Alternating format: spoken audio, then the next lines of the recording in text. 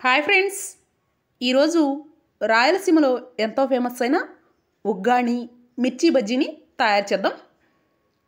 రాయలసీమలో ఈ ఉగ్గాణి బజ్జీని ఉదయం బ్రేక్ఫాస్ట్గా ఈవినింగ్ స్నాక్స్గా తీసుకుంటారు.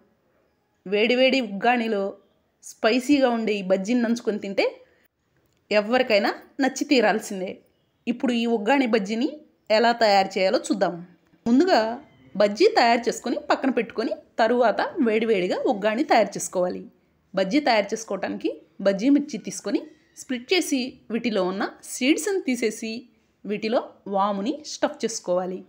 తర్వాత బజ్జీ బ్యాటర్ కోసం ఒక కప్పు శనగపిండి ఒక టేబుల్ స్పూన్ బియ్యపిండి చిటికెడు పసుపు చిటికెడు బేకింగ్ సోడా టేస్ట్కి సరిపడా సాల్ట్ వేసుకొని కొంచెం కొంచెంగా నీళ్ళు పోసుకొని బజ్జీ పిండిని కలుపుకోవాలి. ఇప్పుడు హీట్ అయిన ఆయిల్లో బజ్జీలను వేసుకొని ఈ వేడి వేడి బజ్జీలని పక్కన పెట్టుకోవాలి.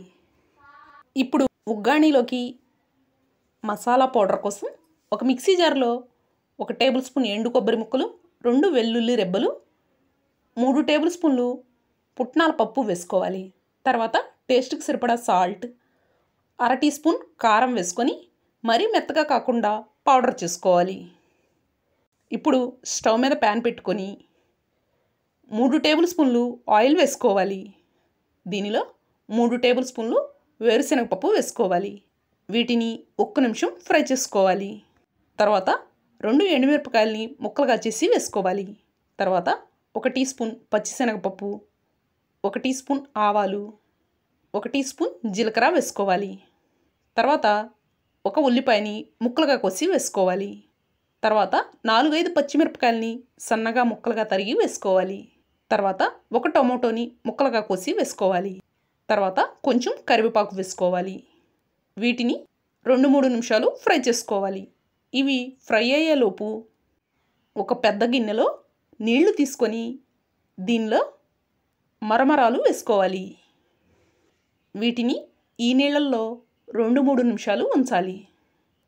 మరీ ఎక్కువసేపు అవసరం లేదు. రెండు మూడు నిమిషాలు నీళ్ళల్లో ఉంచుకుంటే సరిపోతుంది. ఇలా ఫ్రై అయిన దానిలో పావు టీ స్పూన్ పసుపు టేస్ట్కి సరిపడా సాల్ట్ వేసుకోవాలి. ఇప్పుడు దీన్ని ఒకసారి బాగా కలుపుకోవాలి.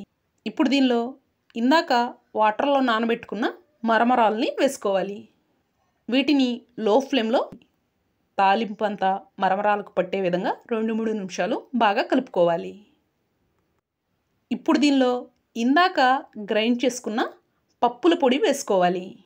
దీన్ని నాలుగు టేబుల్ స్పూన్ల వరకు వేసుకోవాలి. ఈ పప్పుల పొడి వేయటం వల్లే ఉగ్గాని చాలా టేస్టీగా ఉంటుంది. దీన్ని మరొక నిమిషం బాగా కలుపుకోవాలి. వేడివేడి ఉగ్గాని రెడీ అయిపోయింది. ఎంతో టేస్టీ అయిన రాయలసీమ ఫేమస్ ఉగ్గాని మిర్చి బజ్జీ రెడీ అయిపోయాయి. దీన్ని ఈవినింగ్ టైంలో వేడివేడిగా తీసుకుంటే చాలా టేస్టీగా ఉంటుంది. ఈ రాయలసీమ స్పెషల్ ఉగ్గాని బజ్జీని మీరు కూడా తయారు చేసి ఎలా ఉన్నాయో టేస్ట్ చూడండి. ఈ వీడియో కనుక మీకు నచ్చినట్లయితే లైక్ చేయండి. ఇలాంటి మరిన్ని రెసిపీస్ కోసం దీప్ టీవీని సబ్స్క్రైబ్ చేయండి. Thank you.